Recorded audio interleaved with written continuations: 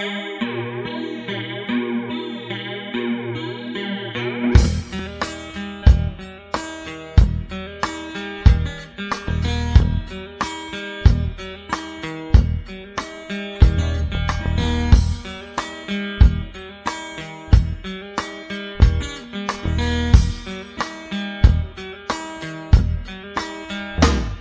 was always an artsy fartsy, fucked up headed, self-medicated.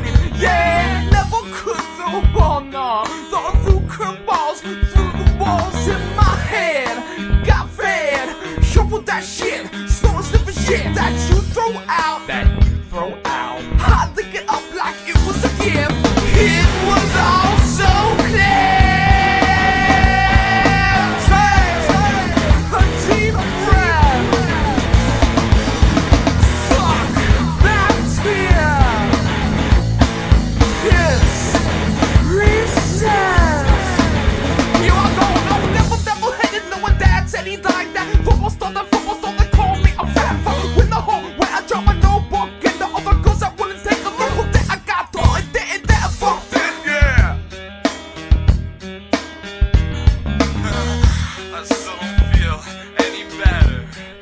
No.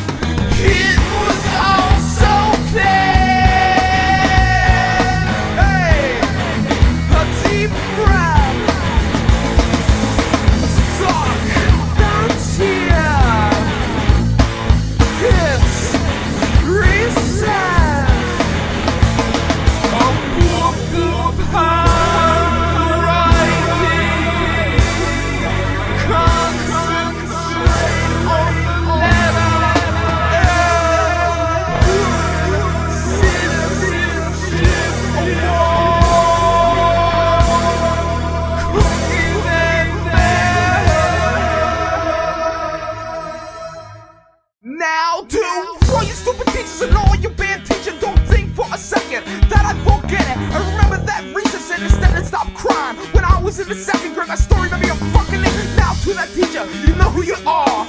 Reading my test in front of the class. What was your reason behind that? What was your thinking behind that? Was it for motivation or for humiliation? Maybe you just needed a fucking vacation. Not on my time, you old fuck. Now you're on my time, you listen to mine.